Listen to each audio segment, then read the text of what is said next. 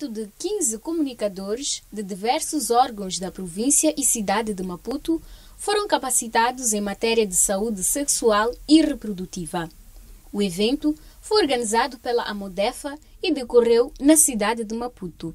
Somente para formar né, os comunicadores, os jornalistas, para conseguirem advocar é, os temas uh, sobre saúde sexual e reprodutiva. Uh, dentre eles uh, as ITS, uh, o HIV. Fazem parte daquilo que são as ferramentas que vamos usar nos próximos dias para a disseminação de informações muito importantes relacionadas à saúde sexual e reprodutiva para Moçambique e principalmente para as zonas mais recônditas. Na ocasião, os participantes destacaram a importância da imprensa na disseminação de informação sobre saúde sexual e reprodutiva, daí considerarem ser importante que os profissionais de comunicação estejam informados sobre o assunto papel muito preponderante naquilo que é a mudança de pensamento nas pessoas para que cada vez mais sejam mais ativas e comecem a cuidar um bocado mais da sua saúde.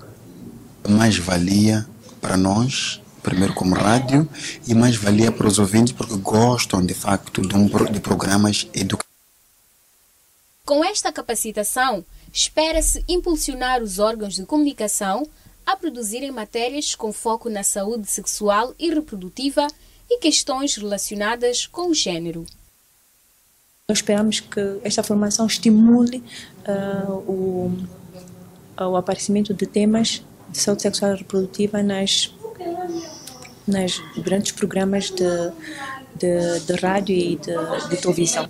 Mais um incremento para mim é se calhar para aprofundar mais as matérias, ter como fazer pautas mais aplausivas né, nesta área.